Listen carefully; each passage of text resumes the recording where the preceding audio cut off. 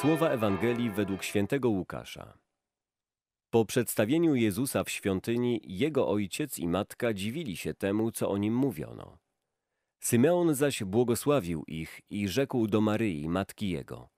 Oto ten przeznaczony jest na upadek i na powstanie wielu w Izraelu i na znak, któremu sprzeciwiać się będą. A twoją duszę miecz przeniknie, aby na jaw wyszły zamysły serc wielu. We wspomnienie Najświętszej Marii Panny Bolesnej, które dziś obchodzimy, Kościół podaje nam do lektury fragment Ewangelii mówiący o proroctwie Symeona. Symeon zapowiada Maryi, że jej duszę miecz przeniknie. Widzimy, jak to proroctwo wypełnia się na Kalwarii, kiedy stojąc pod krzyżem swojego Syna, widziała Jego mękę i konanie za zbawienie świata. Maryja współcierpiała ze swoim Synem, ponieważ serce, które kocha, bije w tym samym rytmie, co serce kochane. Maryja chętnie wzięłaby na siebie choćby jakąś niewielką cząstkę Chrystusowego cierpienia, aby ulżyć Synowi Bożemu.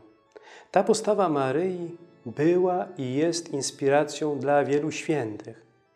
Może być i dziś inspiracją dla każdego z nas. Pomyślmy, w jaki sposób my możemy Chrystusowi przynieść choćby niewielką ulgę w cierpieniach. Cierpienie Chrystusowi zadaje nasz grzech, a zatem pierwszym i chyba najważniejszym wyrazem naszej pomocy Zbawicielowi świata jest unikanie grzechów za wszelką cenę, nawet za cenę własnego życia. Lepiej bowiem umrzeć niż zgrzeszyć. Walcząc z grzechem we własnym życiu, ograniczamy dodatkowe cierpienia, jakimi ranimy Boga.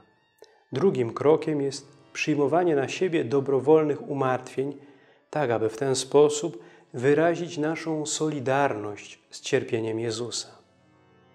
Temu ma służyć piątkowa wstrzemięźliwość od pokarmów mięsnych, przez wielu pobożnych chrześcijan zamieniana na post o chlebie i wodzie. W tym duchu możemy również przyjmować upokorzenia, jakie na nas spadają, tak jak czynił to nasz Mistrz Jezus Chrystus. Trzecim krokiem jest odwodzenie od grzechu innych ludzi.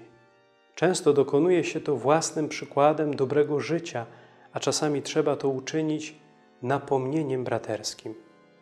Grzech innych nie może być dla nas obojętny, gdyż on rani Chrystusa, którego miłujemy i sprowadza śmierć wieczną na tego, który się grzechu dopuszcza.